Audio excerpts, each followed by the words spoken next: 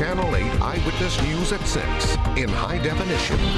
Good evening, everybody. Thanks for joining us. Rain, thunder, and lightning have hit southern Nevada. And it may not be over. A flash flood warning has expired, but a watch is still in effect, meaning that there may be more rain tonight. Eyewitness News has team coverage. In a minute, Chris Saldana has tips on what to do if your car gets stuck in floodwaters.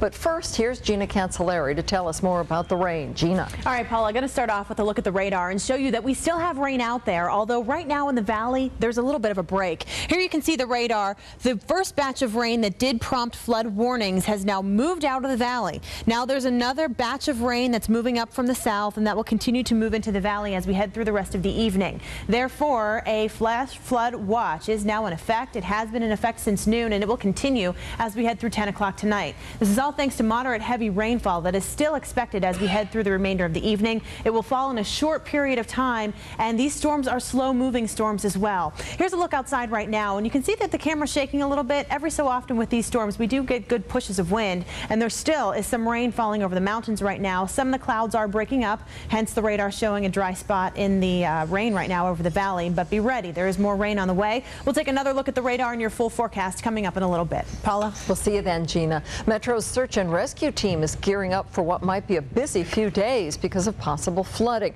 Eyewitness News reporter Chris Saldana continues our team coverage. He's at Flamingo and Valley View. Chris, what should people do if they get stranded in their car?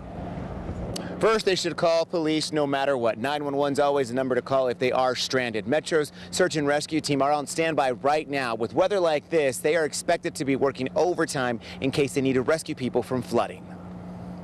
So this is the hoist that we use. Uh, we'd end up hooking onto this. We have a harness that we wear. We'd hook onto that. This will extend out um, up over the. David uh, Van Buskirk has been with Metro for eight years. Every day he makes sure that Huey, as they call it, or helicopter is ready for any type of search and rescue. But when the weather is stormy like it has been these last few days, he knows a lot of their time may be focused on rescuing stranded drivers.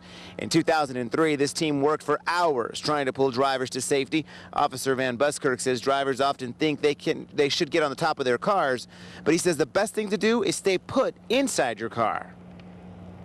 If we arrive into the area and locate the vehicle and we can't see them either inside of it or around the vehicle, uh, most of the time you'll assume the worst, that either the person got swept away in the water if a person happens to get swept away by the floods, Officer Van Buskirk suggests they swim at an angle from the current, not with the current. Now, so far, it's been a pretty quiet day, pretty quiet few days for the search and rescue team for Metro, but they say they are not going to be on, on their easy, to, they're not going to let up anytime soon because until the weather clears up and the skies clears up, then that's when they can actually maybe take a break from being on standby. Reporting live, Chris Saldana, Channel 8 Eyewitness News. Good advice, Chris. Thank you very much.